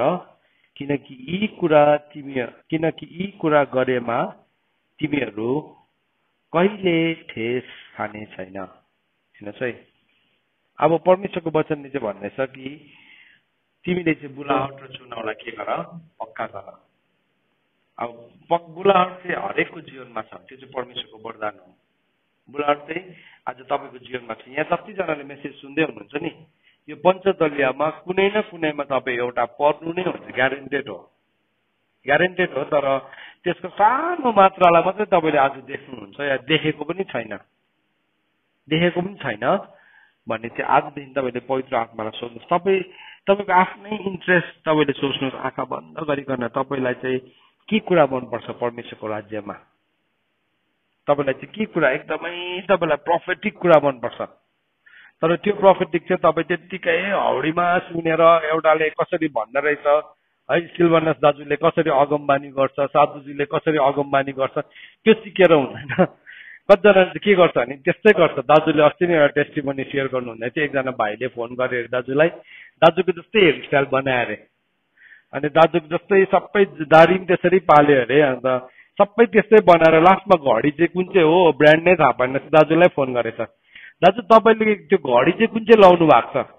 मैले केस पनि तपाईँको जस्तै बनाइसकेको छु दारी पनि तपाईँको जस्तै पालेको छु स्वर पनि तपाईँ सँगसँगै मिल्छ। अब लास्ट घडी मात्रै रहेको छ भने अरे हामी तर सिन्सियर मान्छे है अब इमान्दार भएकोले गर्दा उसले सिधै सोधेछ। अन्त दाजुले भनिदिनु भएछ घडीको नाम। घडीको ब्रान्ड चाहिँ यो हो इजरायलमा जाँदाखेरि किनेको भनेर पनि भनिदिनु भएछ उहाँले। सो कतिजनाले चाहिँ नि त्यसरी गर्छ। त्यसरी पौल यङ्गिचुको एउटा टेस्टिमनीलाई मैले सुनेको थिएँ। पौल यङ्गिचु चाहिँ नि अब उहाँ त बित्नु भयो जस्तै उहाँ अब उहाँ पास्टरल कल भएको मान्छे हो नि त है। अन्त उहाँले चाहिँ नि उहाँको चर्चमा चारजना सदस्य मात्रै थियो अरे। अन्त त्यो अरूको भिडियो ल्याएर चाहिँ नि प्रचार गर्थ्यो अरे सिकेर। यस्तो त्यो भिडियो हेरेर त्यस्तै चिच्चाएर कराएर प्रचार गर्थ्यो अरे। मिचारा त्यो चारजनालाई त्यति साह्रो साह्रो पर्थ्यो अरे। अन्त एक दिन सोधेछ मिचारा त्यो तिनीहरूले तपाईँले एउटा कुरा सोध्छु नरिसाउनुहोस् ल भनेर भनेछ। अन्त के भन्दाखेरि तपाईँ किन यति साह्रो चिच्चाइ चिच्चाइ अब तपाईँले बोल्नु भएको हामीसँग हामी चारजना त छ। होइन म एकदम म फेथलाई प्र्याक्टिस गर्दैछु म फलानुको भिडियो हेर्दैछु अनि उसले जस्तै प्रचार गर्ने कोसिस गर्दैछु। अब उसले उसको किताबमा लेखेको कुरा है यो चाहिँ सिन्सियर मान्छे। सिन्सियर मान्छेले चाहिँ भन्छ नि त आफ्नो घटी कमी है। अन्त अन्त त्यहाँदेखि प्रभुले उसलाई भन्नु पऱ्यो होइन। मलाई चाहिँ त्यो अर्को मान्छे दुइटा चाहिएको होइन। त्यस्तो चाहिएको म पहिल्यै दुइटा बनाउँथेँ। मलाई चाहिँ तै चाहिएको। तँ जस्तो छस् त्यसरी नै तँ नम्रतामा तेरो बुलाहट अनुसार काम गर अनि म त्यसमा आशिष दिन्छु। सो के भयो? त्यहाँदेखि पल युनिचुले के गर्यो? उसले त्यो कुरा गर्नु छोड्यो। त्यहाँदेखि के भयो? उसको चर्चको ग्रोथ हुन थाल्यो। अनि ग्रोथ भएर चाहिँ एउटा यस्तो चरम सीमामा पुग्यो एक एक समयमा उसको चर्चमा दस लाख मान्छे थियो। त्यत्रो बेसी उस उसको चर्चमा विश्वासीहरू थियो। उसको चर्च त थिएन प्रभुको चर्च थियो अफकोर्स तर उसले चलाउने चर्चमा भनेको नि है। त के भयो अब? त्यत्रो मान्छे प्रभुमा आएको थियो। किन भन्दाखेरि चाहिँ उसले आफ्नो बुलावट र चुनाउलाई पक्का गर्यो। यदि हामीले बुलावट र चुनाउलाई पक्का गरेनौँ भने चाहिँ के हुन्छ भन्दाखेरि चाहिँ अब हामी चाहिँ कस्तो हुन्छौँ? यी नजिकको कुरा देख्ने मान्छे मात्रै हुन्छौँ। यहाँ माथिदेखि नै म पढ्छु तपाईँलाई। पाँच पददेखि हेर्नुहोस्। पहिलो पत्रुस एक अध्यायको पाँच पदमा के भनेको छ भने नि त्यहाँ आठवटा कुरा हाम्रो जीवनमा प्रभावशाली हुनको लागि चाहिँ यो आठवटा कुराको चाहिँ हामीले चोइस गर्न सिक्नुपर्छ अरे। यदि हामी इफेक्टिभ अब हामी कतिजनालाई इफेक्टिभ हुनु मनपर्छ भने हामी सबैलाई मनपर्छ नि।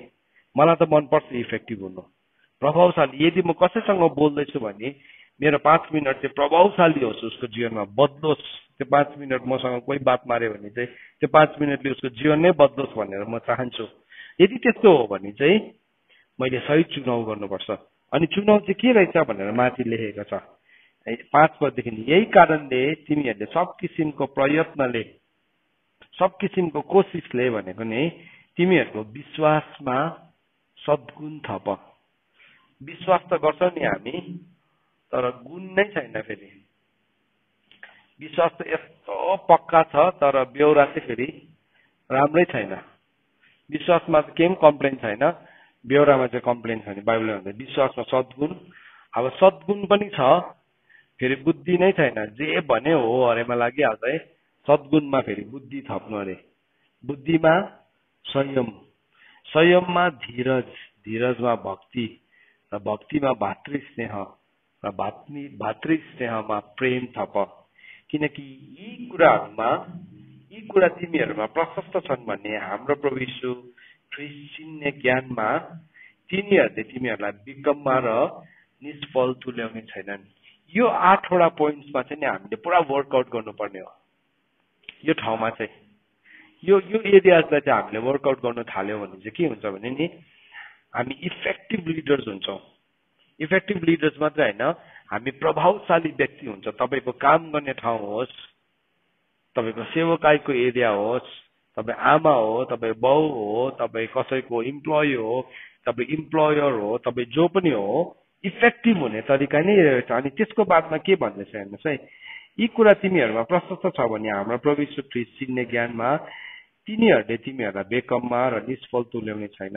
किनकि यी कुरामा घटी भएको मानिस चाहिँ पुरानो पापको सफाइलाई बिर्सेर नजिकका कुराहरू मात्र देख्ने अन्धा हो।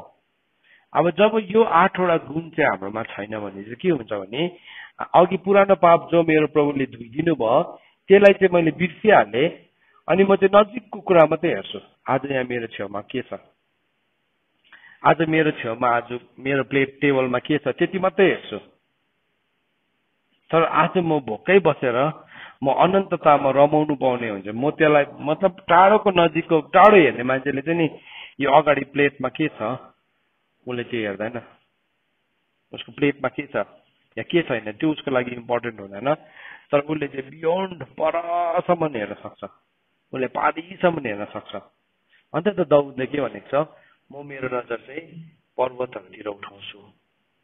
अनि त्यो पर्वतहरूलाई भन्छु मेरो गुहार चाहिँ परमप्रभुबाट आउँछ। Could see beyond the mountains. अन्त प्रब्लम के भन्नुभयो नजर उठाएर हेर। नजर उठाएर हेर। पृथ्वीको बालीहरू सबै पाकिसकेको छ। फसल त तयारी छ तर खेतालाको कमी छ। नजर उठाएर हेरेन भने चाहिँ नि हामी यति हाम्रो घर आँगनलाई देख्छु यति सानो। अनि त्यही नै हामीलाई भयङ्कर लाग्छ। त्यही नै भयङ्कर लाग्छ। तर ख्रिस्टको देह चाहिँ यति साह्रो ठुलो छ। हामीले कल्पना पनि गर्नु नसक्ने। अन्त बाइबलले भन्दैछ नौ पद किनकि यी कुरामा घटी भएको मानिस चाहिँ पुराना पापहरूको सफाइलाई बिर्सेर नजिकका कुराहरू मात्र देख्ने अन्धा हो। अब अन्धाले त देख्दै देख्दैन तर यो चाहिँ कस्तो रहेछ? सर्ट साइटेड साइन्समा एउटा टर्म छ नि है। एउटा मायोपिया भन्छ अर्को चाहिँ हाइपरमेट्रोपिया हो कि के भन्छ? है एउटा चाहिँ नजिकको देख्दैन टाढोको देख्छ। अर्को चाहिँ टाढोको देख्छ।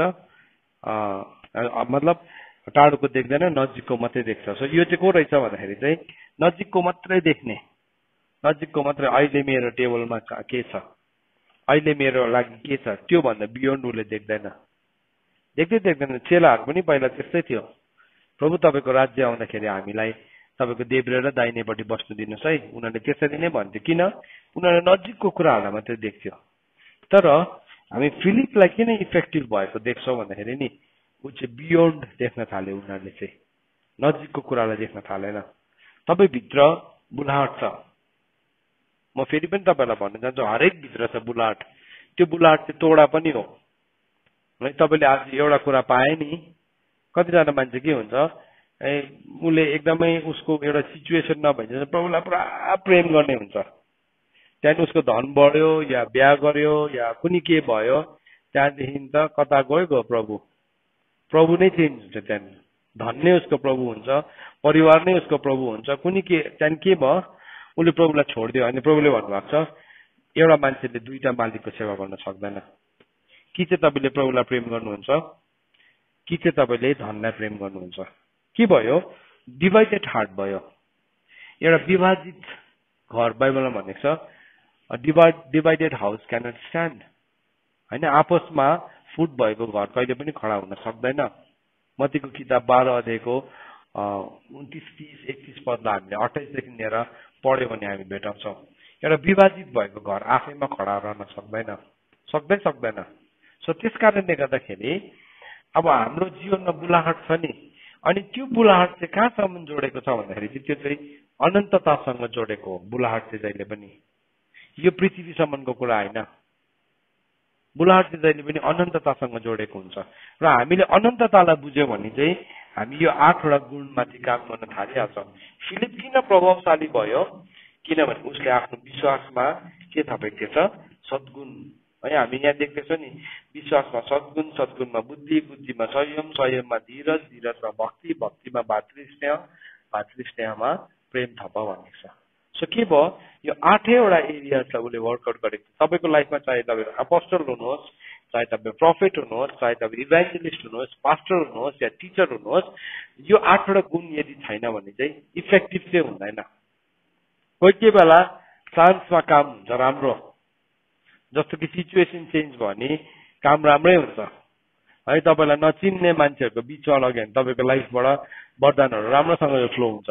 तर तपाईँलाई चिन्ने मान्छेहरूको बिचमा लग्यो भने अघिको त्यो विश्वासमा सद्गुण सद्गुणमा बुद्धि नभएको कारणले गर्दाखेरि एक्सेप्टेन्स नै आउँदैन। तपाईँलाई एक्सेप्ट नै गर्नु सक्दैन मान्छेले। के भयो? किनभने तपाईँ त्यो ठाउँमा बोधे भएको छ। हो त्यस कारणले गर्दाखेरि बाउले भन्दैछ तिम्रो बुलाहट र चुनाउलाई के गर? पक्का गर। सो के भयो? फिलिप इफेक्टिभ थियो। उसलाई जहाँ लग्यो भने सामरियामा लग्यो भने सामरियामै इफेक्टिभ थियो। उसलाई अस्दोदमा लग्यो भने फेरि अस्दोदमै इफेक्टिभ थियो गाजामा लग्यो भने गाजामै इफेक्टिभ थियो किनभने यो आठवटा एरियालाई उसले वर्कआउट गरिसकेको अन्त त्यसलाई चाहिँ के भन्छ? वर्किङ आउट यो सेलिब्रेसन भनेको चाहिँ हो। तिमीले डर र कम्पको साथ मुक्तिको कामलाई पुरा गर्नु भनेको चाहिँ यो ठाउँमा हो। यो आठवटा ठाउँमा। यो आठवटा ठाउँलाई चाहिँ हामीले सधैँ याद गऱ्यौँ भने हामी इफेक्टिभ हुन्छौँ। इफेक्टिभ हुन्छौँ। त यहाँ के भयो? अब उसलाई चाहिँ उसले फिलिपको जीवनबाट चाहिँ यति साह्रो शक्तिशाली काम भयो। त्यो ठाउँमा चाहिँ एकजना मान्छे थिएछ अब म प्रेरितको किताब आठ अध्यायमा आउँदैछ है। त्यहाँ त्यहाँ यस्तो यस्तो साह्रो शक्तिशाली काम भयो। सिमो नाउ भएको एकजना मान्छे थिएछ त्यसले चाहिँ अगाडिदेखि नै त्यो सहरमा जादुगरी गरेर सामर्यका मानिसहरूलाई आश्चर्यचकित पारेको थियो। र आफैलाई मै हुँ भनी ठान्दथ्यो। त्यस मानिसलाई सानोदेखि ठुलासम्म सबैले यसो भनेर मान्छे यो मानिस परमेश्वरको त्यो शक्ति हो जसलाई महाशक्ति भनिन्छ। सो यो सिमोन भन्ने एउटा तान्त्रिक त्यो ठाउँमा थिएछ। अथवा त्यो मान्छेले त्यो ठाउँको टेरिटोरियल स्पिरिटलाई चलाइरहेको थियो। सो यो व्यक्ति थियो अनि यो व्यक्ति यो उसलाई चाहिँ भयङ्कर सम्झिन्थ्यो सबैजनाले। भयङ्कर सम्झिन्थ्यो। तर यहाँ के देख्दैछ? त्यो मान्छेलाई त्यो मान्छेले पनि फिलिपले गरेको कामलाई देखेर चाहिँ के भएछ? उसले पनि प्रभुलाई विश्वास गरेछ। यद्यपि उसको विश्वासमा कतिवटा स्वार्थ थियो प्रब्लम थियो तर भए पनि उसले देख्यो कि त्यो मान्छे भित्र भएको शक्ति भन्दाखेरि चाहिँ फिलिप भित्र भएको शक्ति चाहिँ झन् ठुलो रहेछ भनेर चिनिहाल्यो। चिनिहाल्यो। सो उसलाई कन्फ्रन्ट पनि गर्नु परेन केही पनि गर्नु परेन। फिलिप इफेक्टिभ भएको कारणले गर्दाखेरि इफेक्टिभ भएको कारणले गर्दाखेरि सो तपाईँहरू जतिजना लिडरसिपमा हुनुहुन्छ नि म तपाईँहरूलाई एन्करेज गर्छु। तपाईँ लिडरसिपमा खडा हुन चाहनुहुन्छ म तपाईँलाई भन्छु खडा हुनुहोस् पक्का हुनुहोस् चाहिएको छ। तर यो आठवटा कुरालाई याद राख्नुहोस्। तपाईँ फास्टिङमा हुनुहुन्छ अरे नि प्रभुलाई भन्नुहोस् यो आठवटा कुरा चाहिँ प्रभु म मेरो जीवनमा इन्कल्केट गर्न चाहन्छु। यो आठवटा एरिया चाहिँ प्रभु मेरो जीवनमा म वर्कआउट गर्न चाहन्छु। हामी साँच्चीकै ट्रु फास्टिङ बस्ने हो भने नि यस्तो कुराहरूलाई बस्नुपर्छ। मलाई धन दिनुहोस् सफलता दिनुहोस् पैसा दिनुहोस् भिजा लागोस्। कतिजनाको त्यस्तै हुन्छ। मेरो छोराले एडमिसन पाइहालोस् छोरीले एडमिसन पाइहालोस् त्यति सबै संसारकै कुराहरू मात्रै छ। तर नि यदि चर्चले नि आज ट्रु फास्टिङ बस्न थाल्यो यो कुराहरूलाई लिएर प्रभु मेरो विश्वासमा चाहिँ म सद्गुण थप्न चाहन्छु। कहाँ चाहिँ म सही भएको छुइनँ? मलाई प्लिज देखाइदिनुहोस् भने पवित्र आत्माले देखाउनुहुन्छ। यति साह्रो जेन्टल हुनुहुन्छ। देखाउनुको लागि पर्खिराख्नु भएको छ। तर हाम्रो आफ्नै कुराहरूले गर्दा देख्न सकेको छैन। तर जब हामीले यो एरियालाई वर्कआउट गर्छौँ नि त्यहाँदेखि चाहिँ हाम्रो लाइफको एक एकवटा शब्दहरू चाहिँ शक्तिशाली रूपमा जान्छ। हाम्रो जीवनको एक एकवटा कुरा चाहिँ शक्तिशाली। अब यहाँ के छ? एउटा टेरिटोरियल स्पिरिटलाई कन्ट्रोल गर्ने एउटा डरलाग्दो तान्त्रिक थियो त्यो ठाउँमा। तर के भयो? फिलिपको कामलाई देखेर त्यो पनि छक्कै पर्यो। अनि त्यसले पनि विश्वास गर्नु करै लाग्यो। करै लाग्यो किनभने फिलिपभित्र जुन चाहिँ शक्ति थियो त्यो भित्र भएको शक्ति भन्दा त कता कता माथि थियो। सो के भयो? त्यो शक्तिलाई चाहिँ उनीहरूले देख्यो। अनि के भयो? होइन भने यदि हामीले यो कुरालाई बुझेनौँ भने चाहिँ हामीले पुरानो सफाइलाई बिर्सेर अगाडिको कुरालाई मात्रै हेर्छौँ। अनि हामी त्यो सानो कुरामै ताना खिची भइरहेको हुन्छ। सुन्नुहोस् है। किङ्डम अफ गड परमेश्वरको राज्य चाहिँ ठुलो छ? हामी जुन पृथ्वीमा बस्छौँ नि त्यो पृथ्वीको वरिपरि जुन चाहिँ के भन्नु सिस्टम छ कन्स्टिलेसन सिस्टम छ नक्षत्रको एउटा प्रणाली छ अनि त्यहाँ भएको त्यो जुन चाहिँ नक्षत्रहरू छ ब्रह्माण्ड छ त्यो ब्रह्माण्डलाई चाहिँ के भनेर चिनिन्छ भन्दाखेरि चाहिँ मिल्की वे भनेर चिनिन्छ। अनि मिल्की वे आकाश गङ्गा जुन चाहिँ छ त्यो आकाश गङ्गा भित्र चाहिँ नि हाम्रो सौर्य मण्डल कहाँ छ सोलर सिस्टम कहाँ छ त्यो हामीलाई थाहा पनि छैन। साइन्टिस्टहरूले नि यी यहाँ मिल्की वे भित्र चाहिँ यहाँ छ भनेर नि यसरी फिगर आउट पनि गर्न सक्दैन। यति साह्रो ठुलो छ। लास्ट टाइम पनि मैले तपाईँहरूसँग सेयर गर्दै थिएँ मिल्की वेको यो पोइन्टदेखि लिएर यो पोइन्टसम्म पुग्नलाई लाइटलाई पनि एक लाख वर्ष लाग्छ अरे। जबकि लाइट चाहिँ एक सेकेन्डमा तिन लाख किलोमिटर ट्राभल गर्छ। एक सेकेन्डमा एक चुटकीमा चाहिँ लाइटले तिन लाख किलोमिटर पृथ्वीलाई आठपल्ट घेर्छ यसरी। वरिपरि फनानक आठपल्ट एक सेकेन्डमा घेरिदिन्छ। त्यस्तो स्पिडमा कुद्ने लाइटलाई चाहिँ नि यो मिल्की वेको यो पोइन्टदेखि लिएर यो पोइन्टसम्म पुग्नु एक लाख वर्ष लाग्छ अरे। त्यो त नि ब्रह्माण्डको ब्रह्माण्डको एउटा छिटा मात्रै धुलो पनि आउँदैन त्यो। छिटा मात्र धुलो कडा अणुमा पनि आउँदैन त्यो। परमेश्वरको राज्य चाहिँ यति साह्रो ठुलो छ। एक दिन चाहिँ नि हामी त्यो अनन्ततालाई राज्य गर्छौँ। तपाईँले कल्पना गर्न सक्नुहुन्छ कत्रो ठुलो हो हाम्रो जिममा। तर हामी चाहिँ यत्रो सानो कुराको लागि यत्रो सानो ठाउँको लागि हामी यो कुराहरूमा विकास नगरेर नै हामी योसँग झगडा पर्दै गरेको हुन्छौँ। हामी सानो सहनशीलता हुँदैन हाम्रोमा। यो चाहिँ हामीले जान्नुपर्छ। किङडम अफ गड सो हामीले काम गर्दैछौँ नि त्यहाँ नजर लगाउनुपर्छ। अनन्ततातर्फ नजर लाउनु मोसाले के गर्यो? मिश्र देशको खजाना केही जस्तो पनि लागेन नि उसलाई किनभने उसले सधैँभरि रहिरहने खजानालाई देख्यो। अब्राहमलाई नि तम्बुमा पालमा बस्नु केही जस्तो पनि लागेन किनभने उसले अनन्तको सहरलाई देख्यो। युसुफलाई नि त्यो बेविचारदेखि भाग्नु केही जस्तो पनि लागेन किनभने उसले अनन्ततामा यीशु ख्रिस्टको कुललाई बचाउने कुरालाई बुझ्दै थियो उसले। दानियललाई नि दानियललाई त्यो राजाको त्यो गिफ्टलाई इन्कार गर्नु केही जस्तो लागेन किनभने अनन्ततालाई बुझेको थियो। सो हाम्रो वरदानहरू पनि केसँग जोडेको छ? इटर्निटीसँग जोडेको छ। हो त्यो बुझ्यो भने चाहिँ हामी के हुन्छौँ? हामी यो आठवटा गुणमाथि चाहिँ नि अर्काको गुणमाथि होइन मेरो गुणमाथि म काम गर्छु। तपाईँको तपाईँको गुणमाथि काम गर्नु प्रभुले मलाई बोलाउनु भएको छैन। बोलावटको हिसाबले यो शिक्षा दिनुपर्छ मैले बताउनुपर्छ तर नि म मेरो आफ्नो चुनावमा चाहिँ नि मैले मेरो गुणमाथि मैले काम गर्नु सक्छु त्यो चाहिँ मेरो साँच्चीकै लडाइँ हो। त्यो चाहिँ लडाइँ हो।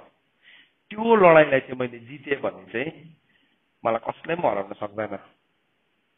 कसले पनि हराउन सक्दैन किनभने मैले म भित्र भएको लडाइँलाई जितिसकेको छु म भित्र भएको शत्रुलाई नै जितिसकेको छु सो के भयो फिलिपले जितेको कारणले गर्दाखेरि अब के भयो त्यो ठाउँमा ठुलो काम भयो त्यहाँ के भनेको छ तेह्र पदमा भनेको छ सिमन आफैले पनि विश्वास गरे त्यसले बत्तिसमा लिएर त्यो फिलिपसँगै लागिरह्यो र चिन्हहरू ठुल्ठुला अचम्मका कामहरू देखेर त्यसलाई आश्चर्य लाग्यो आश्चर्य लाग्यो प्रभुको दास नि डेभिड होगेन तपाईँहरू कतिजनाले चिन्नुहुन्छ कतिले चिन्नुहुन्न जसको जीवनबाट नि प्रभुले धेरै मरेको मान्छेहरूलाई जिउँदो बनाउनु भयो मेक्सिकोमा उहाँले उहाँको काम गर्ने ठाउँ छ हामीलाई पनि बोलाउनु भएको थियो उहाँले तर हामी यो सबै लकडाउनको सिनियरहरूले गर्दाखेरि हामी जानु पाएन हामी पनि जानेवाला थियो त्यो ठाउँमा तिमीहरू आउनु मसँग दस दिन बस्नु मसँग कसरी सेवाकाई गर्दो रहेछ हेर्नु भनेर हामी पनि जानुको लागि एक्साइटेड भएको थियौँ तर हाम्रो जानु मिलेन तर नि उहाँको सेवाकाईको एउटा टेस्टिमनी मान्छेलाई ठुलो बनाएको होइन सुन्नु चाहिँ मान्छेलाई ठुलो बनाएको होइन। त्यो त्यो मेक्सिकोमा चाहिँ नि कस्तो हुन्छ अरे भन्दाखेरि चाहिँ त्यहाँको अलम त्यहाँको गेम्स चाहिँ कस्तो हुन्छ अरे भन्दाखेरि नि त्यहाँको गेम चाहिँ अरूहरूको जस्तै रनिङ है या बक्सिङ या स्विमिङ त्यस्तो हुँदैन अरे। त्यहाँ त्यो त्यो त्यो त्यो ठाउँको गेम चाहिँ उनीहरूको नेसनल स्पोर्ट्स चाहिँ कस्तो हुन्छ अरे भन्दाखेरि चाहिँ काला जादु देखाउने हुन्छ अरे। कसले चाहिँ भयङ्कर काला जादु देखाउँछ? स्टेडियममा मान्छे सबैजना बसिरहेको हुन्छ। एउटा मान्छे सबैजनाको बिचमा आउँछ। सट्टै बाघ भइकन फर्केर जान्छ अरे। फेरि अर्को मान्छे आउँछ अरे साँप भइकन फर्केर जान्छ। त्यो लेभलको टुनामुना गर्ने ठाउँमा। अब उसले गएर प्रचार गर्नुपर्ने। अनि उसले प्रचार गर्दाखेरि चाहिँ नि उसले हामीसँग उसको टेस्टिमोनी सेयर गरेको। फर्स्टमा त उसले उसले प्रचार गर्दाखेरि त कोही पनि जाति भएन अरे। कोही पनि जाति भएन अरे बरोभन्दा उसले जस जसलाई हात राखेर प्रार्थना गर्ने सबैजना उल्टा मरेको अरे त्यहाँदेखि त उसलाई त्यस्तो रिस उठ्यो अरे आफैसँग आफैलाई देख्दाखेरि पनि रिस उठ्यो अरे। प्रभु के हो यो मेरो जीवनमा चाहिँ? उल्टा तपाईँले मलाई यो ठाउँमा ल्याउनु भयो। एउटा पनि जाति हुँदैन। अलिअलि राम्रै सन्च भएको मान्छे पनि मैले प्रार्थना गर्दाखेरि मर्छ। के भएको यो भनेर उसले सोधेछ प्रभुलाई। अनि प्रभुले उसको जीवनको कुरा उसलाई देखाउनु भयो उसले उसले सेयर गरेकै उसलाई उसको जीवनमाथि उसले वर्कआउट गर्न थाल्यो। प्रभुले उसलाई वर्कआउट गर्न थाल्नु भने एक दिन चाहिँ गएछ। धेरै उसले अब यो आठवटा कुरामा वर्कआउट गरिकन अनि गएको त यस्तो हेरेको चाहिँ मन्त्र तन्त्र गर्ने मान्छेले त एउटा लासलाई यति तिन फिट हो कि चार फिट माथि उचाले उडाइदिइराखेको छ लासलाई यतिकै। छक्कै परेछ उसले देखेर। अनि यसो मुनि केही केही लगाएको छ कि डोरीहरू लगाएको छ कि न यसरी हात पनि हालेर नि हेरे उसले छैन। अनि उसको पाला यसो त्यो लासलाई यसो खिच्दाखेरि पनि यसो तल जान्छ अरे उडेर फेरि माथि नै आइहाल्छ अरे। छक्कै पर्यो। अन्त त्यो तान्त्रिकले के भनेछ उसलाई? तँ यो गाउँमा प्रचार गर्न आएको होइन? तँ प्रभुको सेवक होइन? अँ म प्रचार गर्न आएको। म प्रभुको सेवक हो। तैँले लासलाई यसरी उडाउन सक्छस् भनेछ भन्नेछ। के भन्नु भन्नु उसको बाला अन्त उसको बाला भनेछ अह म यो लासलाई यसरी उडाउनु चाहिँ सक्दिनँ। तर म यसलाई जिउँदो चाहिँ बनाइदिन्छु भनेछ। भनिसकेर त उसलाई पुरा डर लाग्यो अब। अब च्यालेन्ज त डर लाग्दो थियो। जिउँदो चाहिँ बनाइदिन्छु भनेर। कसरी चाहिँ जिउँदो बनाउने? सत्र घन्टा लाग्यो अरे उसलाई प्रार्थना गर्नु त्यो दिन। त्यो सत्र घन्टामा पनि डरसरी यतापट्टि पछाडिबाट आउँछ कि बुलेट पो आउँछ कि ढुङ्गा पो आउँछ कि किनभने त्यो मरेन भने चाहिँ ऊ लास हुन्छ फेरि अब। त्यो त्यो लास चाहिँ जिउँदो भएन भने चाहिँ ऊ लास हुनेवाला अब। तर सत्र घन्टा बाद चाहिँ नि त्यो लास जिउँदो भएछ। सत्र घन्टा बाद सेभेन्टिन आवर्स प्रार्थना गर्नु। अब कस्तो चाहिँ प्रार्थना गऱ्यो होला सत्र घन्टा त? अब उसको लागि त डु अर डाई सिचुएसन थियो है। जिउँदो भएछ। त्यहाँदेखि चाहिँ नि त्यो जुन चाहिँ वर्ड लक थियो त्यो तन्त्र मन्त्र तन्त्र गर्ने मान्छे त्यो चाहिँ नि आज उसको चर्चको एल्डर अरे उसले भनेको थियो त्यो चाहिँ आज मेरो चर्चको एल्डर छ।